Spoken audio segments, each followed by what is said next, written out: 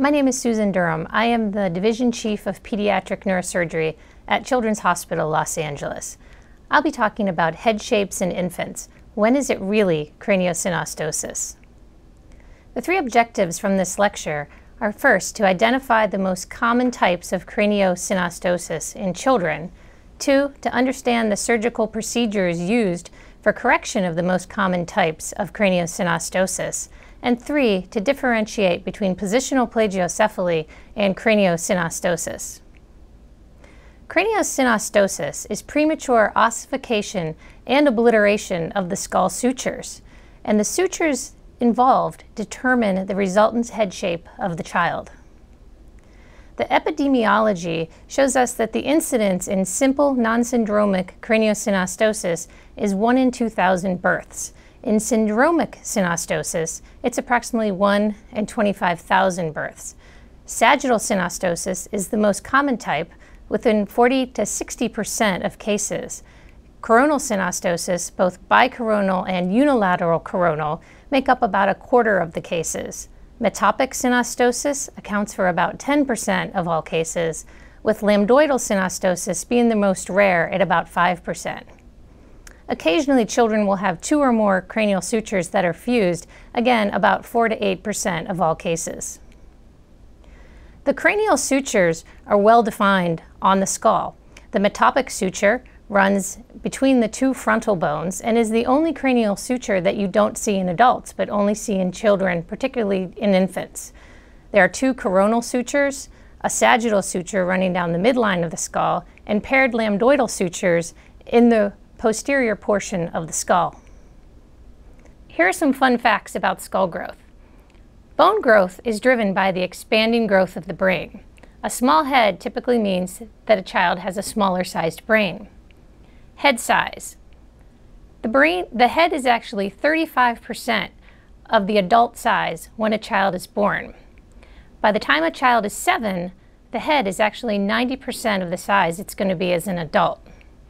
The metopic suture, the suture that runs between the two frontal bones, is the only suture that completely closes over with bone, and this bony fusion is usually complete by age two. Sutures do not fuse after complete growth of the head. There's always fibrous tissue intervening. In craniosynostosis, bony fusion of the suture occurs. Virchow's law tells us that cranial growth occurs parallel to the fused suture. This is a picture of a child with a fused sagittal suture. You can see that the head is long and narrow. There is decreased growth, which is perpendicular to the fused suture. And there's exaggerated growth that's parallel to the fused suture. The diagnosis of craniosynostosis is typically a clinical diagnosis. Infants are born with a characteristic skull shape that is typically present at birth and becomes exaggerated over time.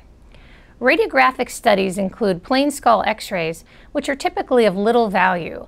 A CT head with 3D reconstruction will accurately demonstrate which cranial sutures are fused. Ultrasound is, an emerging technology that can actually help uh, diagnose fusion of the involved sutures. The treatment of craniosynostosis, there's typically two rationales for treatment. The first is one of aesthetics. And this is the most common indication in single suture craniosynostosis because the cranial deformity worsens with head growth. This often, has involved facial involvement with facial asymmetry and also has a significant psychological impact to the child and the family. The functional rationale for treatment are much more common in syndromic children. These children may often have increased intracranial pressure, papilledema and decreased visual acuity, they often have hydrocephalus, as well as risks for corneal exposure. Surgical timing for repair of craniosynostosis really depends on when the child is diagnosed. We like to take advantage of the exponential growth phase of the skull, which occurs in the first 18 months of life. Normally, a child's head grows approximately 2 centimeters per month for the first 6 months of life and 1 centimeter a month for 6 to 12 months of life. Early diagnosis is key in determining what type of surgery should be done. When children are diagnosed before three months of age, they can often be a candidate for the endoscopic assisted procedures. At this point, the skull is thin and malleable, and there's little need for extensive bone work. These children are typically placed in a cranial molding helmet postoperatively for a period of 6 to 12 months. Unfortunately, most children are diagnosed after three months of age, making them not the best candidates for endoscopic approaches. I'd like to review the different types of craniosynostosis. Sagittal synostosis is fusion of the sagittal suture, which runs along the midline of the skull. This is the most common type of craniosynostosis and occurs most commonly in males compared to females at a 4 to 1 ratio. This is often described as scaphocephaly or dolichocephaly, which comes from the Greek word scaphe, meaning boat. It is characterized by a boat-like cranium. Sagittal synostosis typically have an exaggerated anterior-posterior elongation of the skull, a high forehead, as well as both frontal and occipital bossing. In sagittal synostosis, you typically see an absent sagittal suture, you see an increased AP length of the skull, and you see a narrow bitemporal distance. And this picture demonstrates a 3D reconstruction of a, CT, of a CT scan of a child, which demonstrates sagittal synostosis and complete fusion of the sagittal suture. The treatment for sagittal synostosis varies by the time of diagnosis. If a child is diagnosed early, typically before three to four months of age, they're a candidate for an endoscopic suturectomy followed by a molding helmet therapy. At age four to six months, children typically what's, undergo what's called an open calvarial remodeling. And this is a surgery that's performed to reduce the AP dimension of the skull, and we barrel stave the temporal areas, allowing for bitemporal widening. At late diagnosis, which is approximately one to two years of life, these children can be candidates for cranial distraction. Whereas a very late diagnosis, after two years of age, this requires a much more complex calvarial vault remodeling with frontal orbital advancements, a complete calvarial vault remodeling and bone grafting, which is a much larger surgery to do. This is an example of an endoscopic repair, which is typically done prior to three months of age. It's a simple suturectomy of the sagittal suture. The width of the suture that's removed is approximately three to five centimeters, and there's an option for adding barrel stave osteotomies bilaterally. The advantage of this approach is that it's less blood loss in a young infant. There's a shorter operative time as well as anesthesia time and a shorter length of stay. The drawbacks to this um, procedure at this age are there's limited visibility for what we're doing. It also requires helmet compliance postoperatively between 6 to 12 months of helmet therapy afterwards. The picture on the right demonstrates the incisions that are made on the cranium. There's two small incisions that are made which allow us access to the fused suture underneath. And the second picture is that of a typical cranial molding helmet orthosis that is uh, worn by the children postoperatively. The typical calvarial remodeling, which is typically performed at three to six months of age, has been described in a variety of methods. Um, depending on the shape of the skull and the frontal versus occipital bossing versus the degree of bitemporal narrowing, there are many different options for calvarial vault remodeling for treatment of sagittal synostosis that have been described over the years. Here's a typical picture of a pre and post-operative head shape uh, in sagittal synostosis. The pictures on the left are a top-down view and a side view of a child with sagittal synostosis. And you can see that the head is very narrow and very long. And the pictures on the right are about two weeks postoperatively from a calvarial vault remodeling. And you can see that the head is shorter and wider and much more round than when they started, um, when they before prior to the having their surgery. The second type of, of craniosynostosis that's commonly seen is coronal synostosis. And this is seen anywhere between 20 to 30 percent of all cases. And this is a fusion of one or both of the coronal sutures. This type is more common in females. Unilateral coronal synostosis is seen about twice as commonly as bilateral synostosis. Unilateral is typically isolated, bilateral coronal synostosis is often syndromic. The picture on the right is a picture of a fused coronal suture, and it demonstrates the compensatory cranial remodeling as a, as a result of the uh, coronal suture being fused with contralateral forehead bossing and ipsilateral forehead flattening. Unilateral coronal synostosis again shows ipsilateral forehead flattening as well as contralateral forehead bossing. The ipsilateral eye is more open, the ipsilateral brow is higher. These children often have a C-shaped facial deformity and the base of the nose and the chin typically point away from the affected side. Unilateral coronal synostosis can be treated endoscopically again, before three months of age, requiring these children to wear a helmet postoperatively for anywhere between 6 and 12 months. The picture on the top on the right demonstrates the bony cuts that are made for repair of coronal synostosis unilaterally. Traditionally, these are treated with a, tradition, with a bilateral frontal orbital advancement, and this is done between 6 and 9 months of age. And in this type of surgery, the entire frontal bone as well as the frontal orbital bar are removed and remodeled to uh, alleviate the flattening and the hypoplasia on the affected side. The third type of craniosynostosis is metopic synostosis, and this is fusion of the metopic suture. This is the only suture to fuse normally in the first year of life. This head shape is typically called trigonocephaly, which is named after Greek trigonon, meaning triangle. And you can see that the head shape is characterized by a keel-shaped triangular forehead. The pictures on the right are a, C a 3D CT scan of a child with uh, metopic synostosis. And you can appreciate the triangle shape of the forehead and the, how the eyes are close together. This is called hypotelorism. These children often have bitemporal narrowing, hypotelorism, and a midline ridge along the forehead.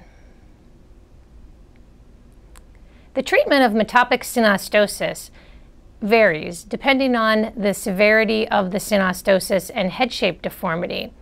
Typically, these are mild, they do not have any bitemporal narrowing, and may only have a small palpable ridge on the forehead. In these cases, it's these are children are typically treated with reassurance to the parents and, and followed and told that this is a normal skull variant. In moderate craniosynostosis of the metopic suture without significant temporal narrowing or hypotelorism, these children can often be a candidate for a less, lesser involved surgery called an endoscopic metopic strip craniectomy. Again, this would need to be done within the first three months of life. In children that have severe bitemporal narrowing and cranial deformities, these children typically undergo a frontal orbital reconstruction as well as an anterior cranial vault remodeling, where again the frontal bone is removed as well as the orbital bandeau or frontal orbital bar, and both of these are reshaped to reduce the triangular shape of the forehead.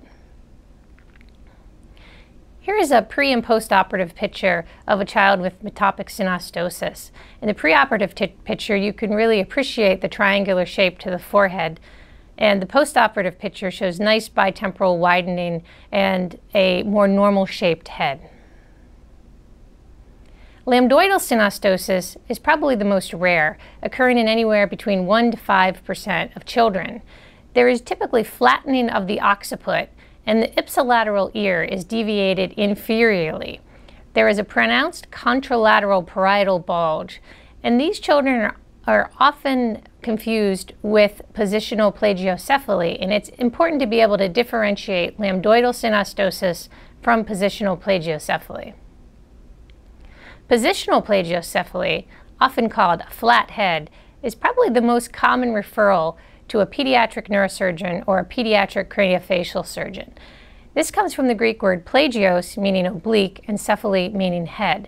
And this is an asymmetric cranial and facial deformity. Positional plagiocephaly typically is caused by back sleeping, where a child prefers to sleep on one side of the head rather than the other. Torticollis, where the head uh, does not rotate normally, often causes positional plagiocephaly, as does prolonged stays in the neonatal intensive care units where children are often nursed on their backs, as well as limited mobility in children with developmental delays that don't develop the ability to roll and sit up properly, sit up at the uh, usual times. The treatment for positional plagiocephaly is typically conservative.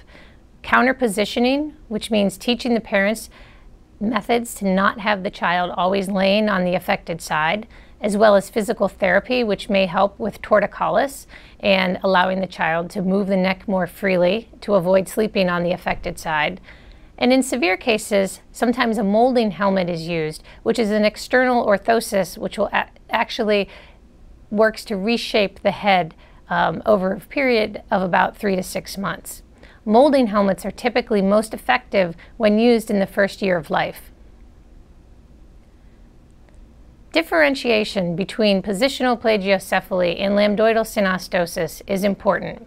This is a schematic of a vertex view or a top-down view looking at the difference in head shapes between positional plagiocephaly and lambdoidal synostosis. Both of these illustrate flattening in the right occiput. With positional plagiocephaly, when you look down at the child's head, everything on the right side is deviated anteriorly. So the right ear will be moved forward as well as the right forehead and sometimes the right cheekbone. In lambdoidal synostosis, it's the opposite. Even though the right side might be flat, the right ear is actually deviated inferiorly and posteriorly, and the contralateral forehead is pushed forward. And there's typically a, a strong compensatory contralateral parietal bulge, which again can be confused with positional plagiocephaly. This is another schematic demonstrating the difference between positional molding and lambdoid synostosis, which again demonstrates the position of the ear and the position of the frontal protuberance, which is quite different between the two. A posterior view of the head is often very helpful in differentiating between positional plagiocephaly and lambdoidal synostosis. In positional plagiocephaly, the ears are level. In lambdoidal synostosis, the involved ear is deviated inferiorly, and there's often a very large protuberance of the mastoid and the skull base on the affected side, as well as a strong contralateral bulge in the parietal region on the contralateral side. And you can see that the head shape looks very different when viewed from behind in posterior, in um, lambdoidal synostosis versus positional plagiocephaly. So in conclusion, head shape abnormalities are a very common pediatric diagnosis. Most can be diagnosed by clinical history and exam alone. Radiographic imaging, the 3D CT, which is the diagnostic test of choice, should only be done when the diagnosis is in question or if there's other clinical suspicion that one would need to image the uh, brain. There's very limited role for skull x-rays in this diagnosis. Early diagnosis and treatment is important. There's less resultant skull base and facial asymmetries, which are often difficult to correct even after the child has had surgery. And this really requires a multidisciplinary team approach, both by pediatric neurosurgeons as well as pediatric plastic surgeons and craniofacial surgeons. Thank you.